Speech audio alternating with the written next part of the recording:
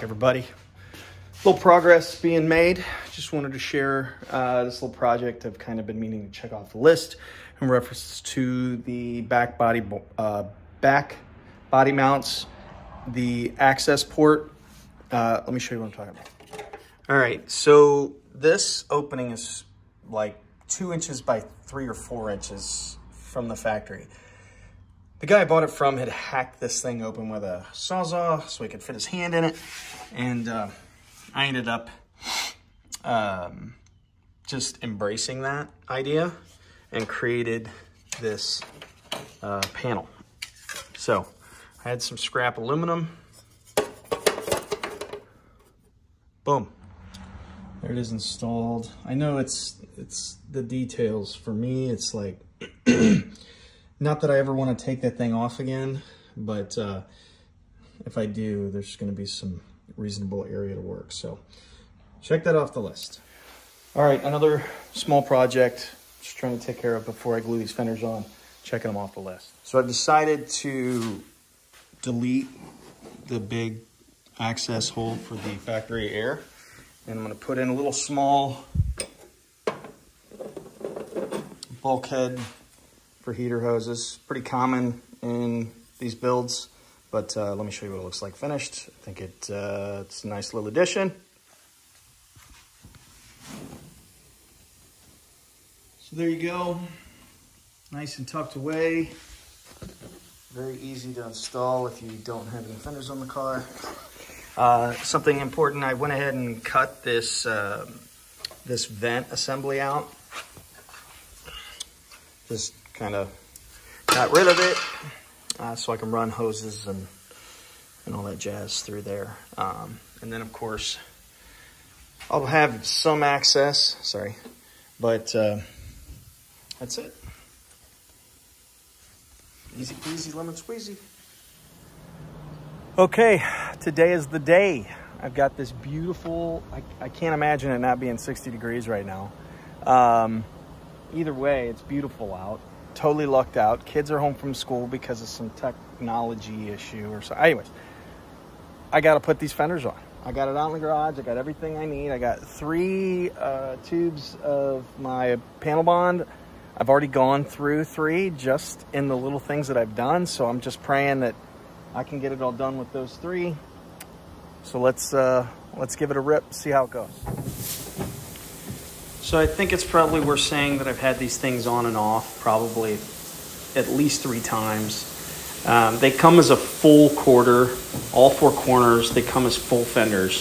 So you trim to fit the way you want them to fit or the way you want to install them. There's no necessarily right or wrong way. Um, you certainly want to use the bonding strips that are currently on the car and um, and then you'll I made a vertical bonding strip right behind the, uh, the wheel well. So um, I'm just trying to find fitment. The car is leveled and set up. So to be able to get this where I want it, that's really important, right? So ride height set.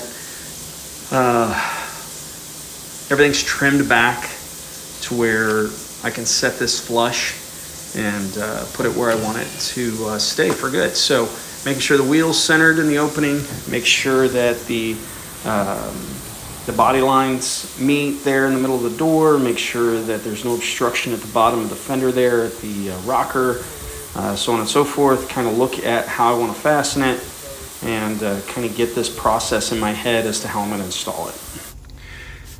So the whole time I'm applying the panel bond, I'm trying to keep in mind the contact patch.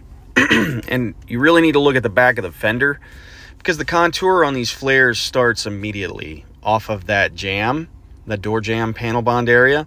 So you're like making sure A, that the area that is going to contact is solid and that there's no voids in the material. And B, when everything's said and done, pulling the wheel off, inspecting those contact areas and I'll probably end up backfilling because that area on the original fender had probably an inch and a half, two inches of panel bond and material backfilling. So uh, something to keep in mind. Uh, you're going to go through a lot of material as far as panel bond is concerned. And um, again, do your prep. Make sure you're not dropping stuff all over the wheels and your tires. Like this is not a good example of how to do this in reference to prep. Like I'm in a hurry and impatient, and uh, I've got a little window of opportunity here, and so that's how I roll. Um, this is me filling the jamb at the door, and uh, there's a lot of material there, which I'll discuss here in a minute.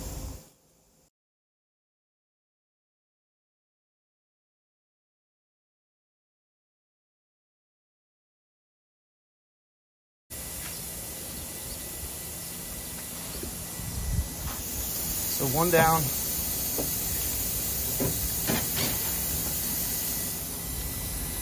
So here I'm essentially really- making sure that I'm putting the panel in the same as I lay the place your as the other one is. So right now I'm just checking my dimensions, making sure that they match that top of the fender to the top of the lip to make sure aesthetically this thing's in you know pretty damn close to being the same place as the other one. I'm trying to eliminate as much body work as I can, which is kind of a moot point just because these fenders aren't the exact same thickness as the original.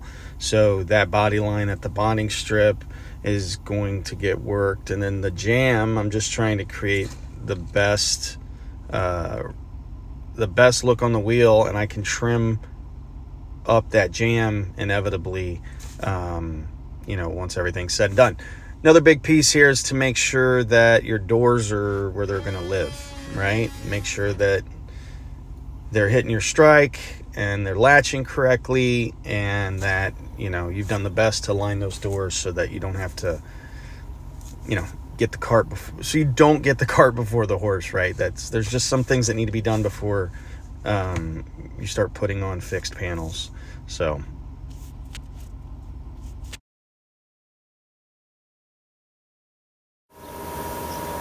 lot of holes. So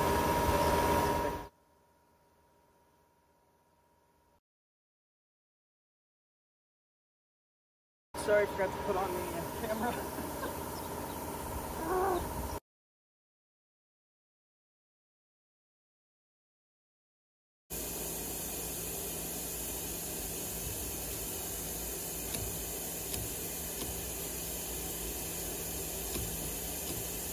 and like so I can actually see Matter of fact, daylight.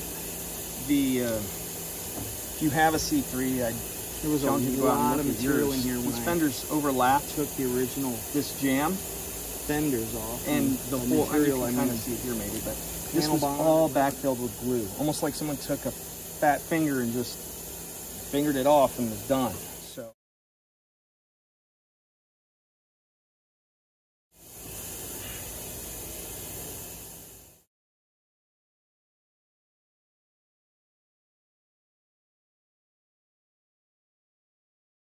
Probably not going to be quite that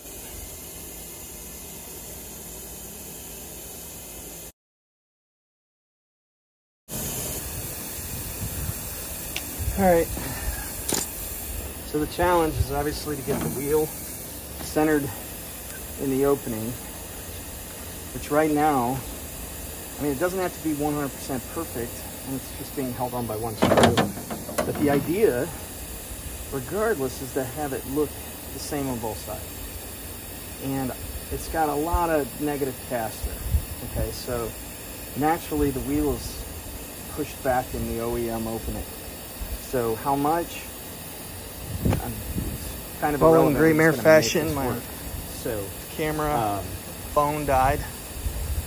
And, this has been uh, an absolute process to try to figure this out. Daylight, rather. I've cut and fit this thing at least So twice, they're on. and now I You're have looking to at that front it for the fender going, time. Todd, what the hell?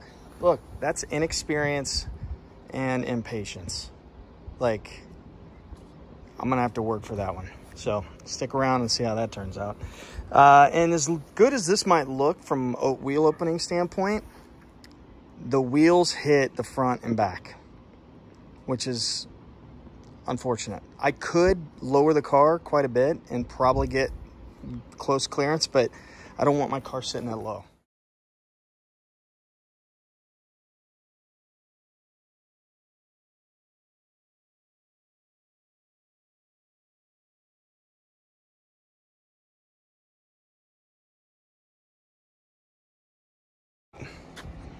Uh, but, I mean, wheel opening wise, pretty much dead nuts. I got 22 millimeters on, on the, you know, uh, either way, the, the dimension from the top of the fender to the wheel opening is, is where it's supposed to be.